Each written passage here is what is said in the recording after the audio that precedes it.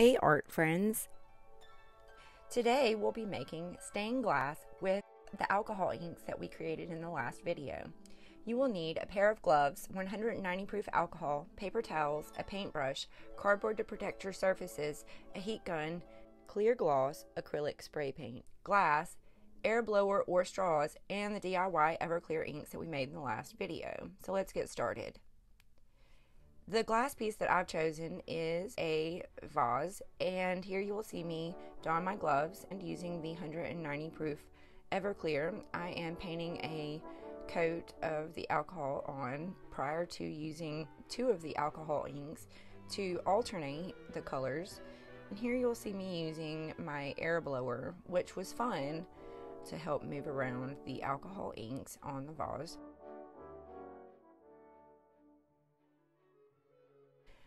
It's iridescent. These raised areas really help it pop with the recessed areas.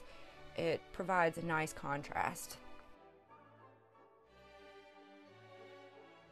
And so here I'm using my heat gun in order to help the alcohol inks dry where I want them to be because I'm working on a vertical surface.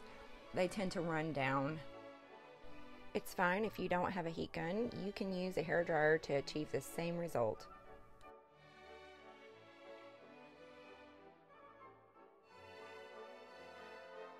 So as you'll see when I flip the vase over, any level surface, the alcohol inks will remain in like so.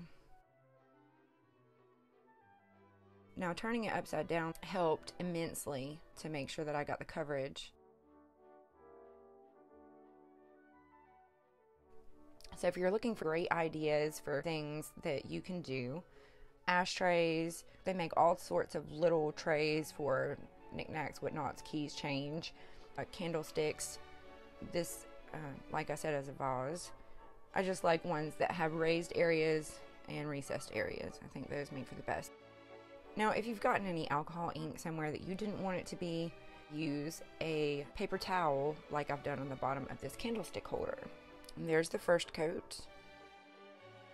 We're going to apply two coats of clear gloss acrylic spray paint. I went out to my garden and picked some flowers and put them in the vase, and I placed a color changing candle. Here's the finished product. Enjoy the time lapse footage of the candle melting down. If you found this content helpful, please give us a thumbs up, subscribe, and smash the bell to be notified of our new content. Happy arting!